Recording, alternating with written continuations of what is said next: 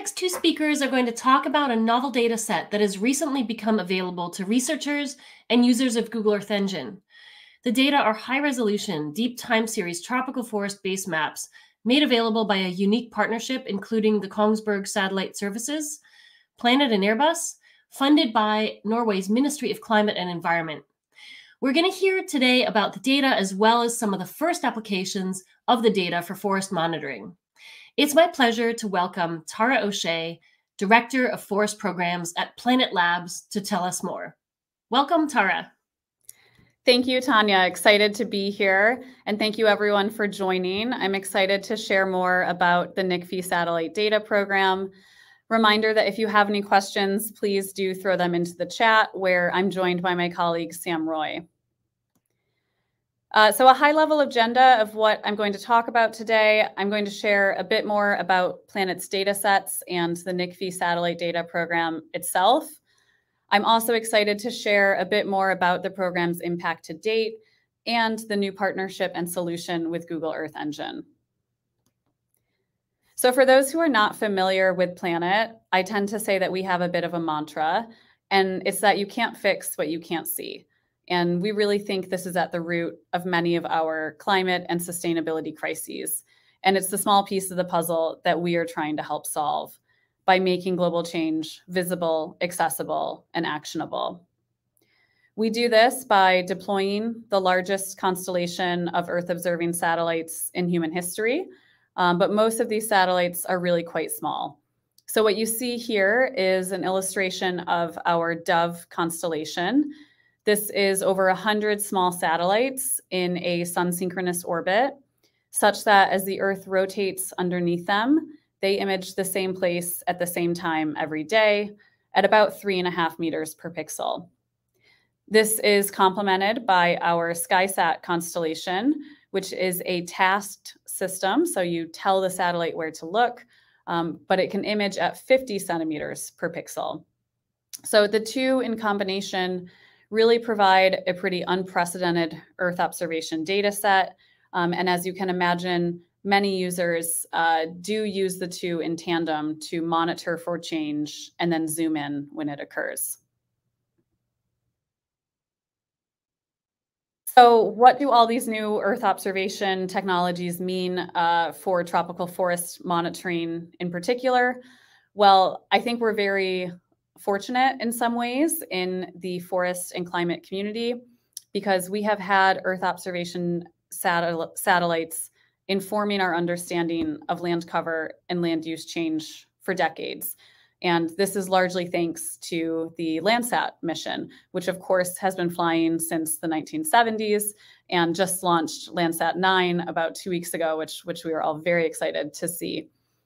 And what Planet is bringing to the table is a new data set that complements these missions with higher spatial and temporal resolution information.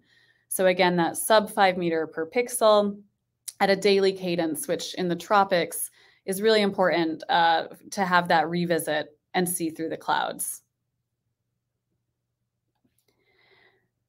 So what the NICFI data program and what the mandate of the NICFI data program does is for the first time, it makes this high resolution satellite monitoring of the tropics available in a wall to wall way to everyone working to reduce and reverse tropical forest loss. Um, so this is really unique, not only because of the high resolution, but also because it's available across the full tropics and across all sectors.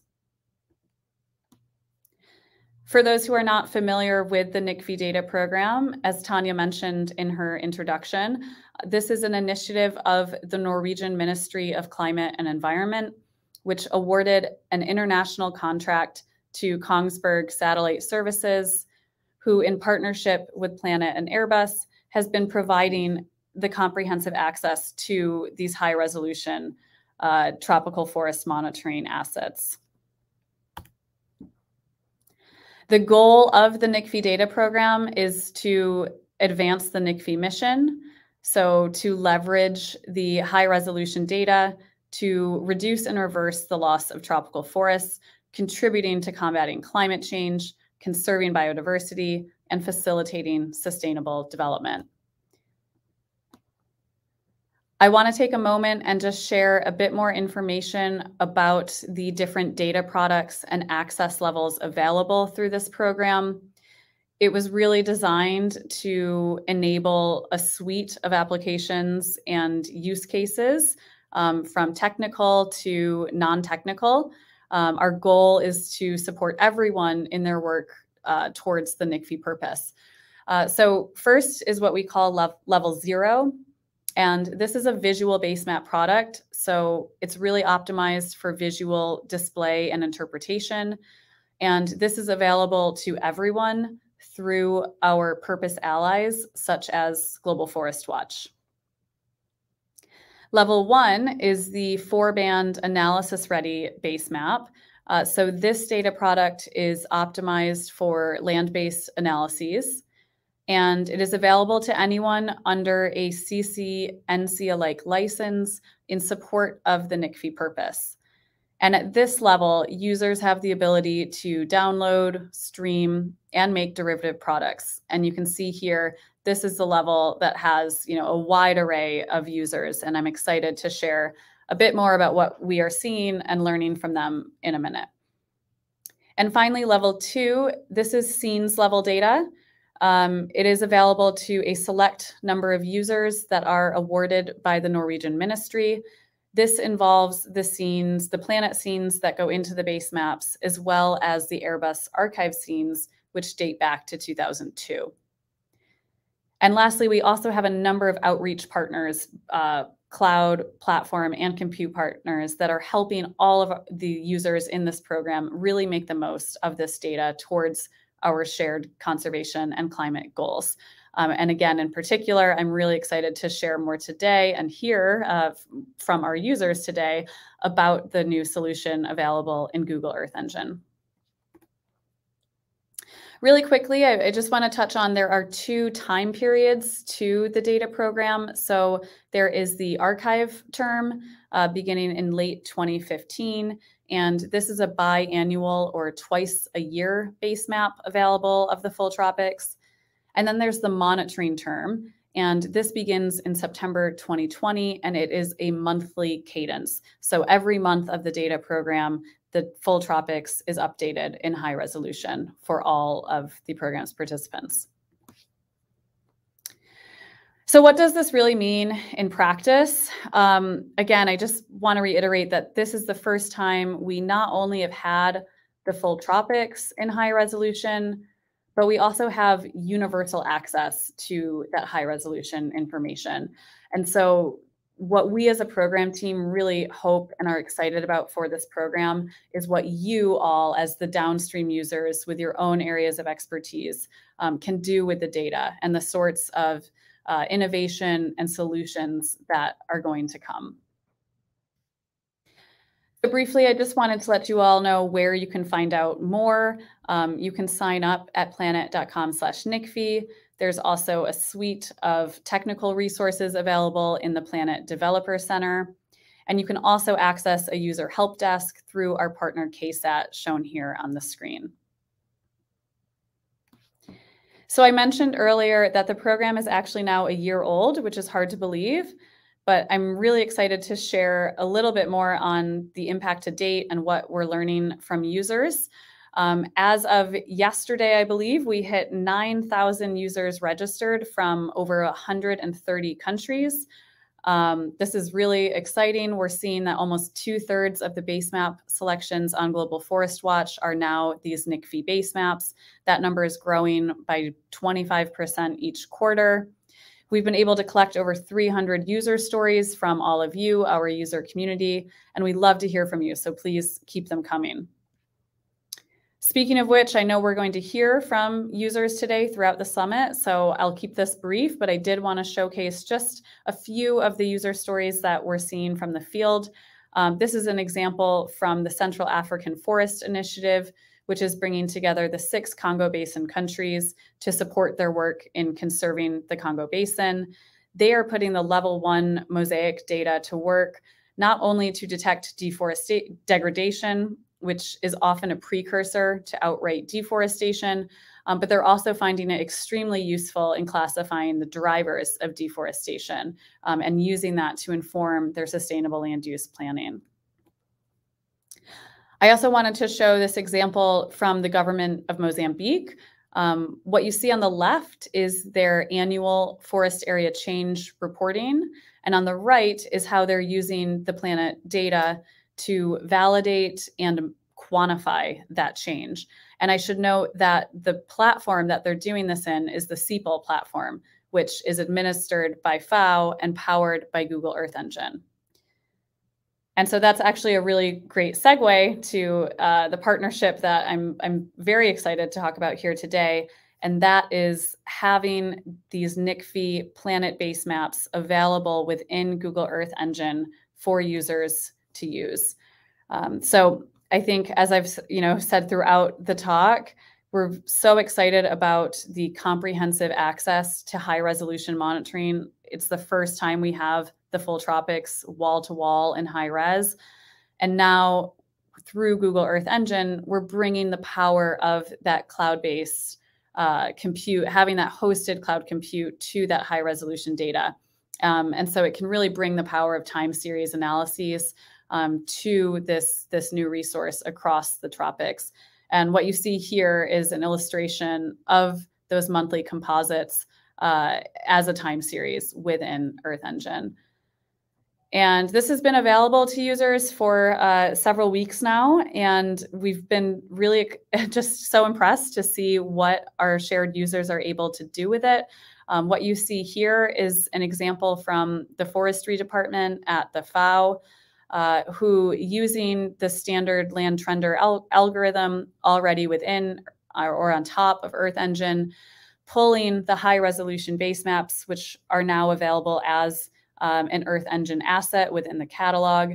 And just by combining these two things, for the first time, we have an automated change detection of land cover changes in a wall to wall, high resolution way.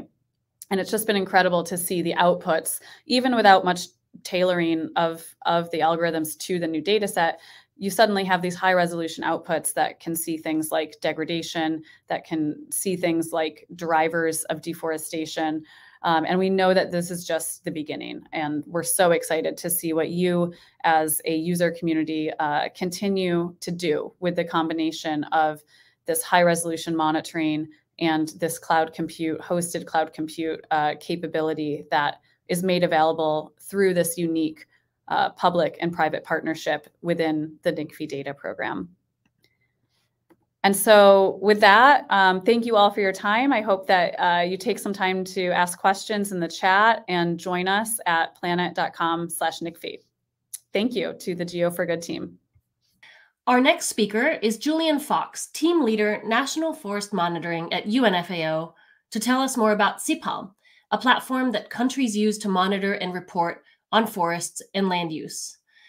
Julian, the virtual stage is yours. Thank you so much, Tanya. Uh, dear colleagues and partners, it has been said that we have entered the golden age of remote sensing. This is true. At no time ever in our past has there been more data available about the Earth's surface.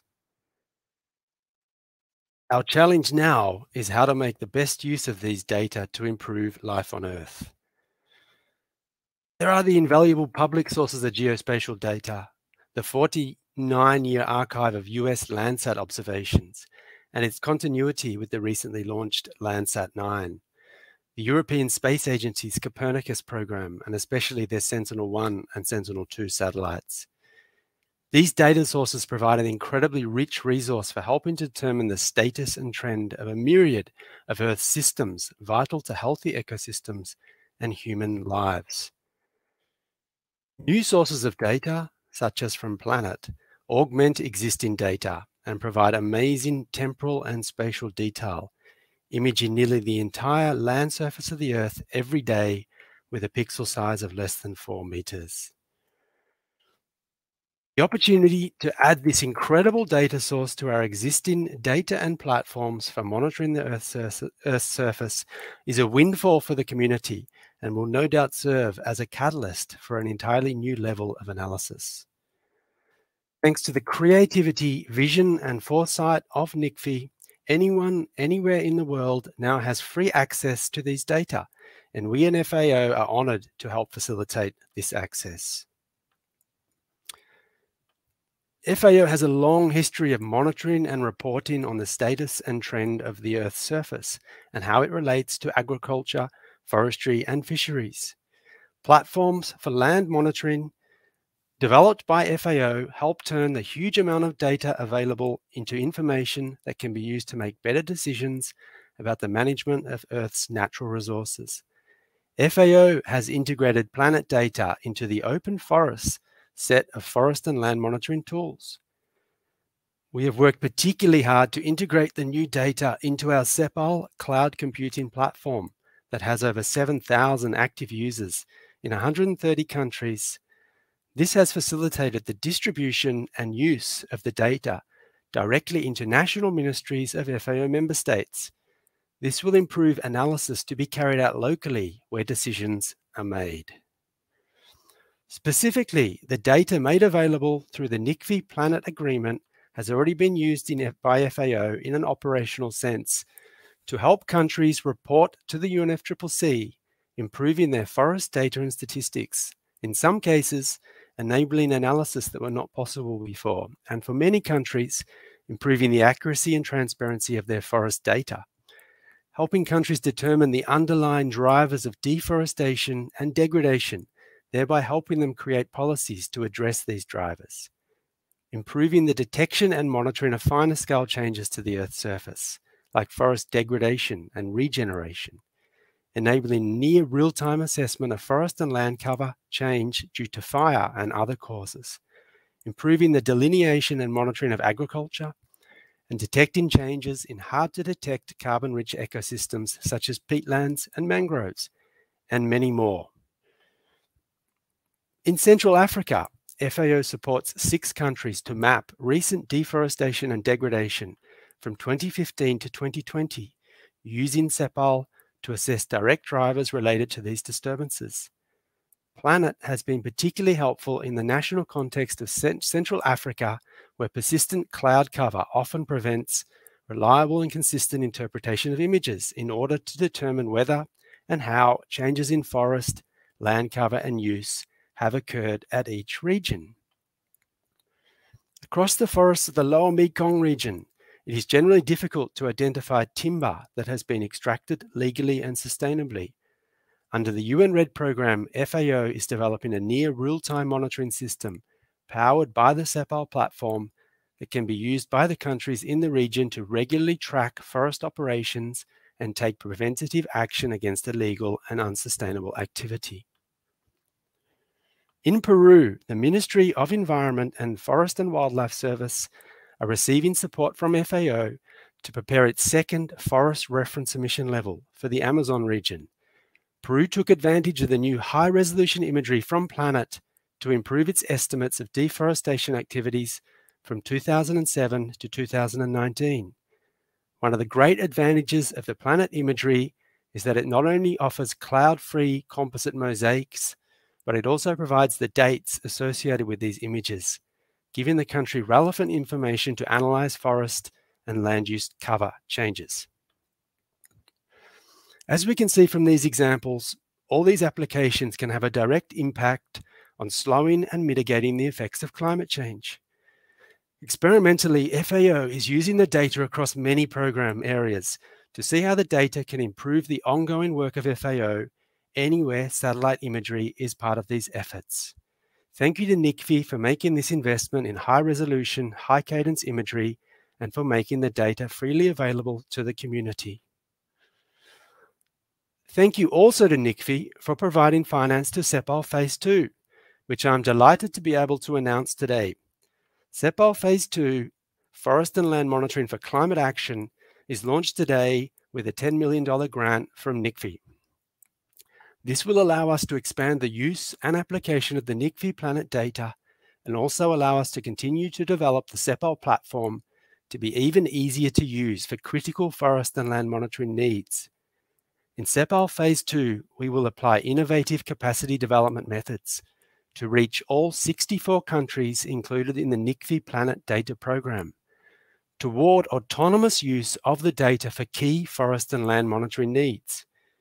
We will develop user-friendly applications of the NICFI Planet data in SEPAL modules for improving the integrity of activity data for jurisdictional and national MRV reporting, strengthening national forest monitoring systems, strengthening the monitoring of forest and ecosystem restoration, improving the measurement and monitoring of peatlands and mangroves, strengthening early warning systems and applications such as the monitoring of fire and fire risk, and strengthening agricultural monitoring toward integration of geospatial data for forests and agriculture.